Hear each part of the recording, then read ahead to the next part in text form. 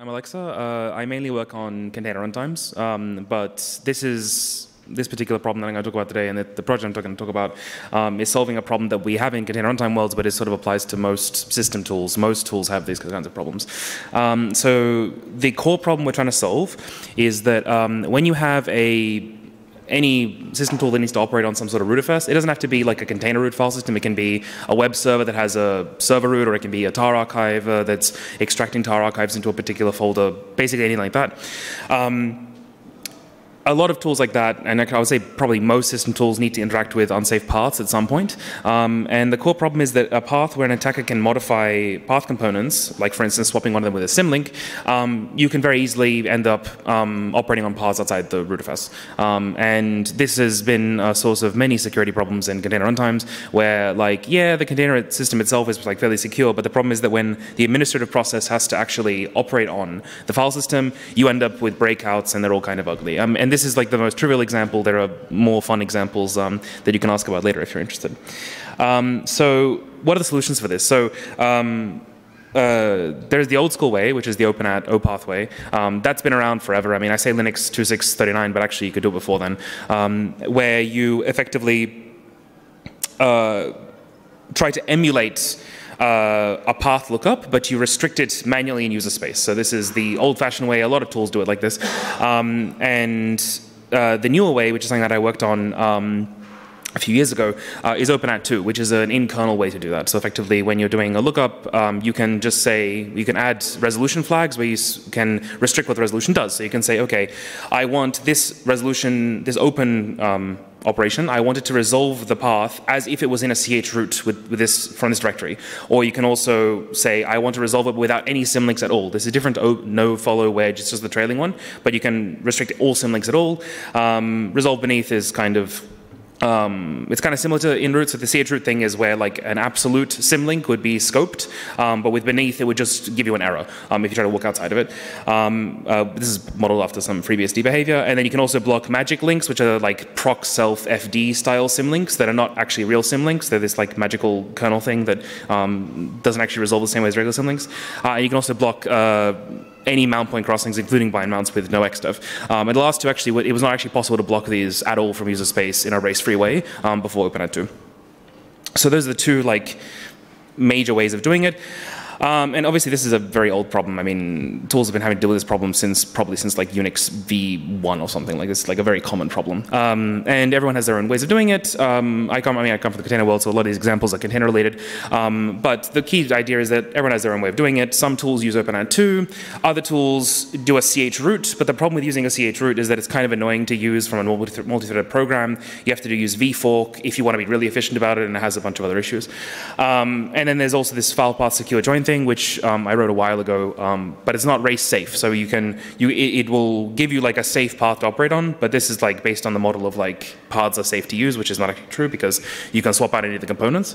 Um, and yeah, systemd has its own thing, um, and Golang, uh, for the few months ago, they started working on their own version, um, though it actually, their version, because it has to be platform uh, independent, um, it actually only blocks like all symlinks, um, which I think is I mean, it'll be nice because you can avoid certain attacks, but uh, you can't um, you can't use it for an actual rootfs because it would just block everything.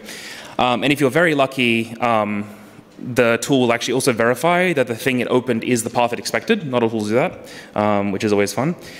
Uh, so yeah, so with OpenAT 2 and with these other things, you can you can resolve a path and get a handle to it, um, and that's actually most of the work, um, at least in theory, um, but there's still a lot of extra things that need to get done. You need to make sure you use uh, all the at versions of syscalls, which requires some fiddling because some operations don't have an obvious at syscall, you, like op open at, make your at, and yada yada.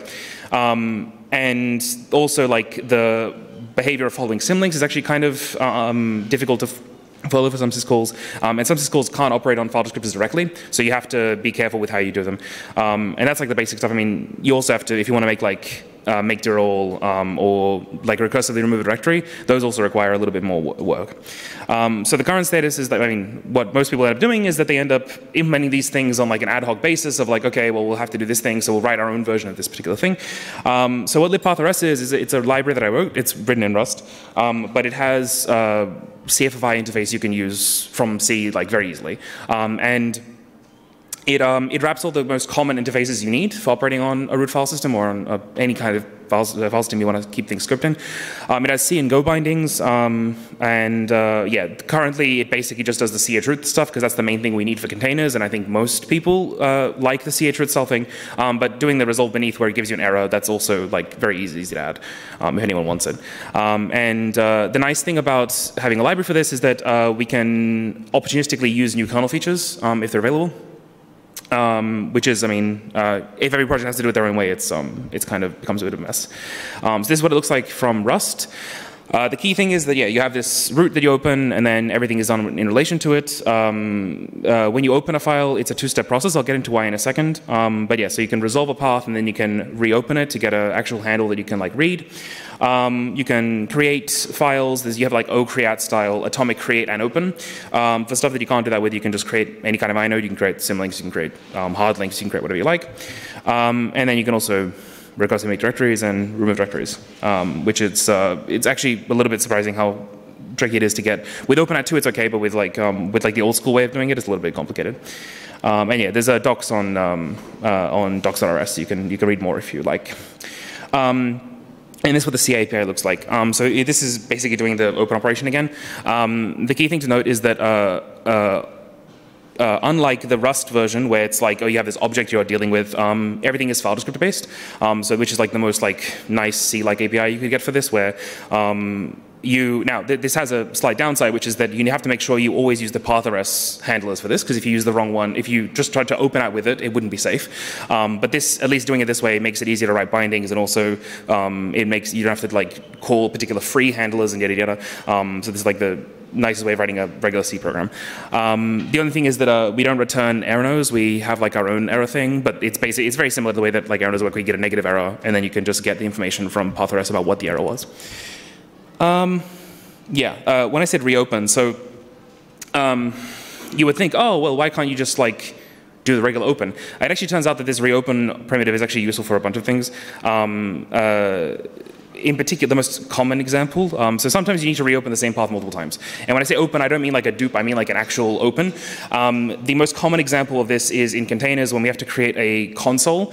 Um, dev PTS inside a container is uh, is unique to the container when we mount it. it it's um, it's basically uh, each one's isolated from each other. Uh, but the problem is that if you were to if you wanted to create like uh, you know, docker exec or podman exec or runc exec into the container, you have to create a new console. Uh, if the container file system has changed, you can get tricked into opening a random file. Now you can you can defend against this in some ways, but like it'd be nice if you can avoid it entirely. So what uh, at least LXC does is that it um you open the PTMX handle as opath first, and then you reopen it each time you need a new console. And that way it's race free, and there's no way a container can attack you um, that way. Um, and so yeah, that's the main reason. Uh, the other slightly um, uh, selfish reason is that it's a little bit easier to implement if you only have to deal with OPATH when doing resolution. So doing it in two steps is easier. I'll explain what, this actually will come up in a second. Um, so yeah, so that's that's the API. I mean, it's not very complicated. It's I mean, uh, getting sort of all the security stuff right was a little bit complicated, but um, it uh, you know it's fairly easy to use. I, I, would think. At least I'm a little bit biased, but hopefully you agree. Um, but uh, the other thing that we have, and this is so the regular path operation stuff I think most system tools have to deal with. Um, the proc, we also, um, in container runtimes in particular, we have to deal with procfs a lot. Um, and so this is a little bit more specialized, though I mean, I mean, a lot of tools have to deal with procfs, but not as many as just regular file systems. So um, procfs is a little annoying because um, unlike uh, operating on rootfs, where like the main thing you're worried about is opening files outside the root directory. Um, with procfs, the thing you're worried about is um, with procfs, the thing you're worried about is you need to open a very specific file because procfs, there's a lot of operations that you can only do in procfs. You can only set AppArmor labels and SELinux labels can only set for a process in through procfs. Uh, certain like reopening and so on and so on, like procselfxe and procselfd, there are um, these like magic links. The only real way to operate on them is through procfs.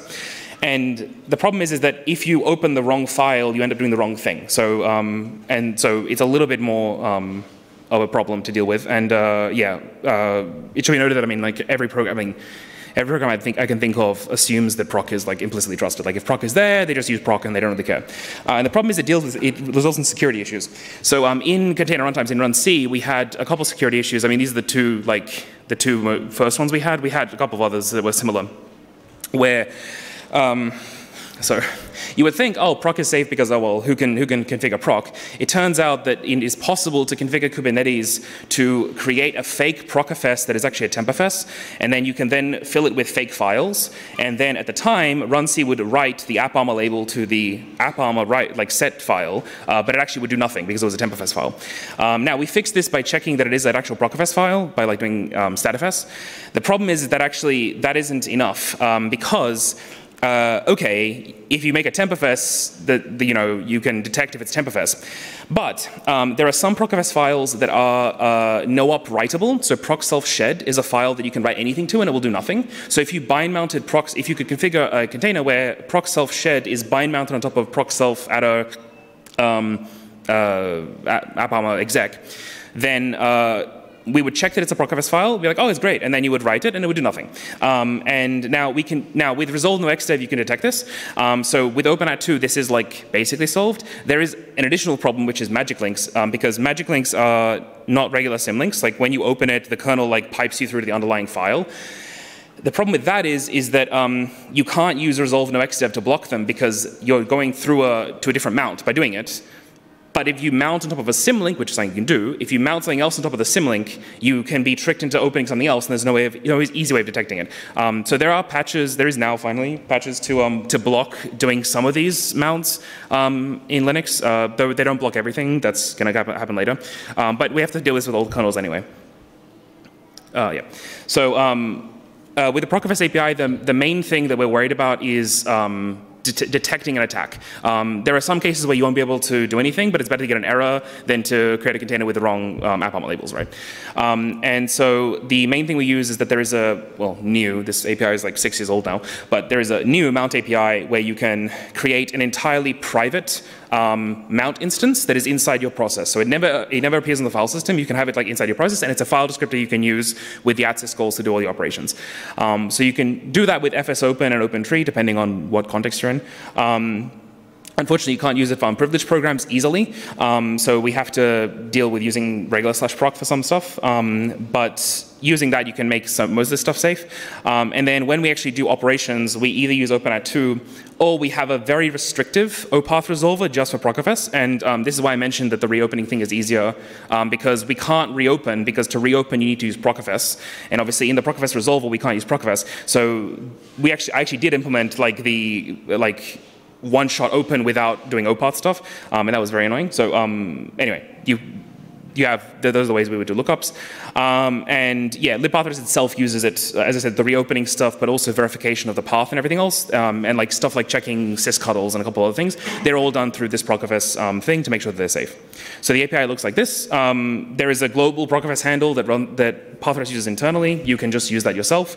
Um, and yeah, you say, oh, I want to open relative to uh, thread self. The reason for this is because on older like pre 317 kernels, you can't specify, uh, there is no, there's a thing called proc thread self. So you have proc self, which is your current PID, like the um, thing, and then you also have proc thread self, which is your current TID, your, your thread ID. Um, but this doesn't exist on pre-317 kernels, so we have to emulate it, and so um, that's the way the API looks. Um, you can also make your own handle if you want. Um, and yeah, you can also have magic links. So the, key, the one thing to note is that when we do open, regular open, that doesn't follow magic links, you have to do open follow to follow magic links. Um, and you can also read link. Um, and then these are two examples of something we actually do in runc, although obviously the, the code is in, in Go, not in, not in, um, not in C. But um, you can, uh, yeah, so it's the same idea where you want to open the exact thing, and then, yeah, I mean, the API looks kind of similar. Um, it's just more wordy because it's, because it's C code. Um, the one thing to note is that we set oh no follow is the way you say don't follow magic links. Um, but yeah, that's the, that's the main difference. and yeah, what, just the one thing to note is that for, for non-magic links, um, there are some limitations to this stuff, unfortunately, because there are still some holes. Um, but yeah, for non-magic links, OpenAT2 is enough. Unfortunately, OpenAT2 is not uh, usable everywhere because um, OpenAT2 uses a particular style of um, it's a what's called an extensible structure, called, um, which seccomp can't filter properly. Like you can't filter the, the flags inside the structure. Um, funnily enough, last week when I was at Linux Plumbers, uh, we actually had a session on how we can fix this. So I will be working on this when I get back home. So hopefully soon it'll be possible to um, restrict um, OpenAT2, so you can use it everywhere. Like for instance, systemd can't use it because they have their own seccomp filters. Um, but uh, regardless, we need to have um, a backup. And yeah, so for the backup, kind of funnily enough, for the non-OpenAT2 case, you actually need a newer kernel because we need to be able to detect what the mount is. Um, we need the StaticD, uh, statx mount ID support. Um, and then for magic links, we need to detect, basically for magic links, you need to detect whether or not the magic link, whether the thing on top of the magic link is the same mount, um, which is uses statx. Um, and the problem is that that's not race-free. So OpenAT2 stuff is race-free because the kernel can detect if something changed. For magic links, we can't do that. So you, you to be race for race safety, you need to be able to use the new AMOUNT API, and you also need to have privileges at the moment. Um, this is an open problem for how we can solve this um, in the kernel. Um, but yeah, so what's next? Um, I released libpathrs 0.1 um, a few weeks ago. Um, my plan is to fix a couple, couple, more things and then release the next version um, next month. Um, and then for the rest of the year, I'll be working on um, porting umoci to umoci is an image tool that I wrote for OCI, which you can use to operate in OCI images. And it's a like complicated enough tool that it has to do a lot of file system operations that it probably will show all the bugs we have in it, all, all the misfeatures we have in the API, um, if there are any. Uh, and then um, once that's done, then I'll work on the runc port to libpathrs. And then after that, um, probably then next year, we'll do um, a 1.0 um, if nothing else um, turns up. Um, the main stuff that's remaining is there's some API stuff. I would love some uh, questions, uh, like comments on this. you can leave, open up issues on our issue tracker. Um, there's a question of like if we need to add, if there's any other file system APIs we should wrap. I mean, like the mount stuff you don't need because you can use the new mount API with file descriptors, um, so you don't need that. But like there are other things like atomically creating files and stuff like that um, if people want it. Um, and we probably also want to add support for not allowing mount point crossings for people who need that. Um, it's a little bit complicated to emulate on all the kernels. Um, in theory, you can do it if the file system supports like NFS exports, because there is a syscall called name to handle that that gives you the mount ID. Um, so you can, in theory, emulate it, but it's a little bit finicky. Um, and then, yeah, your idea goes here. Any, any ideas you have, I'm maybe happy to hear them. Um, and yeah, I'll take questions now.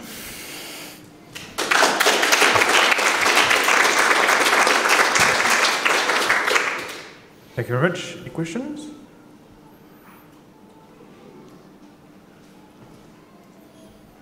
Thanks for the talk. I wonder if any of the new Linux API require some privilege or any process can do that.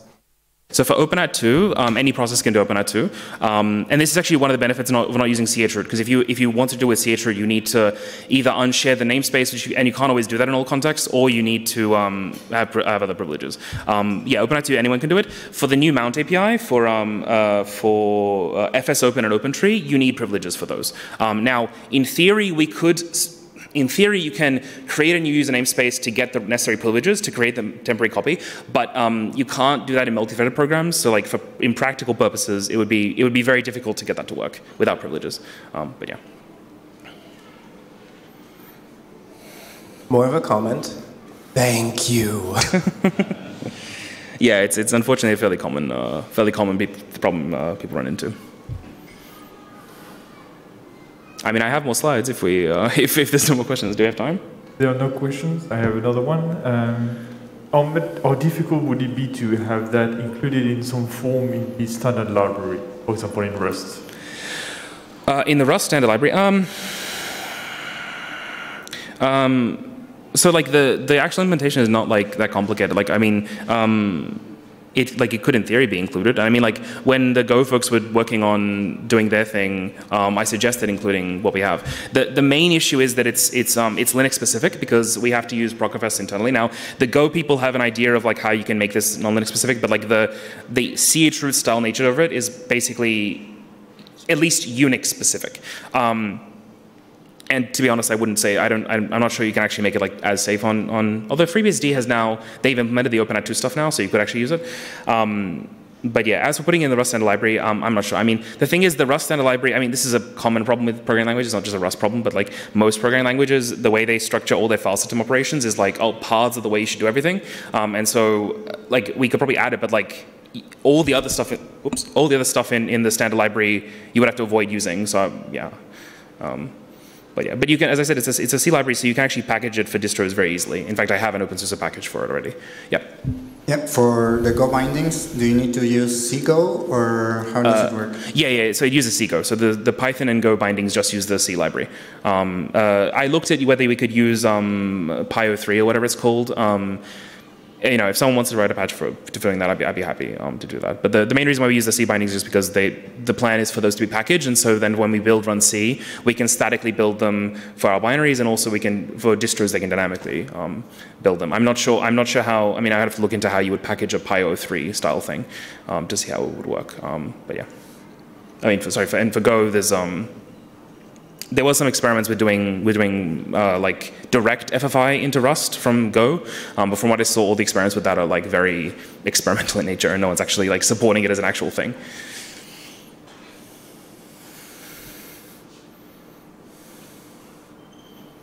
Okay. Do we have some more time or no? We get two minutes. Oh, okay, I can I can quickly rush through kernel stuff that we want to do. Um, so uh, one problem I'm working on is that um, magic links are, um, as the name suggests, magical, um, and you can use this to break out of containers very easily. Now um, there is a slight now leaks are bad. Very bad, but Magic Links let you break out of containers if you have any file descriptor leak. Um, and actually, not even like a leak into the container. We had a recent CV uh, earlier this year where we did a leak inside runc, but you could use procfs to pin the a reference so that when you go into the container, you could attack it. It was very frustrating.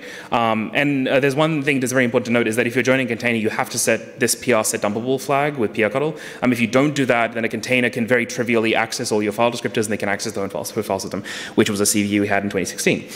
Uh, have one problem that we can fix in the kernel is overwriting binaries. So at the moment, it's possible. It's now, it's now even easier because they've removed some stuff from the kernel that used to protect against this, where um, you can overwrite host binaries if you have the right privileges. So if you don't, so um, PSA, use user namespaces, please. Um, if you don't use user namespaces, then you can, uh, there are trivial ways you can overwrite host binaries. In runc, we've, we've solved this by every time you run runc, we make a copy of the binary in a memfd, and then we exec the memfd, um, which made the MM folks unhappy. But um, this, uh, this kind of is kind of ugly. And there are other ways you could potentially attack it. But yeah, the solution is we can add a kernel patch to restrict reopening. I'm working on it. Uh, it's like it's like the fifth version of the design. Hopefully, it'll um, it'll happen. And then yeah, also restricting mounts on all magic links would be nice. Um, and yeah, the other stuff is that there's stuff in OpenAT2 that I might want to add. Um, I'm happy to take suggestions, but yeah, there's stuff like, uh, I mean, I know the systemd folks, they care a lot about wanting to, um, to block um, bad inodes where like opening it would cause a DOS. Um, and there are ways you can detect it, but it requires a lot of extra syscalls. So like OpenAT2 being able to block those immediately would be nice. Um, blocking all dot dots, not just walking out of the root would be nice. Um, and saying that would be nice, though I, I, have a feeling it wouldn't be accepted, is if you could do like an atomic MK node, so you can create any inode and get a handle to it in one go. Um, it's something that people want. I mean, and in, in we would use most of these things if they, if they were around, um, though this last one will probably be a little bit complicated. But yeah, okay, thank you very much.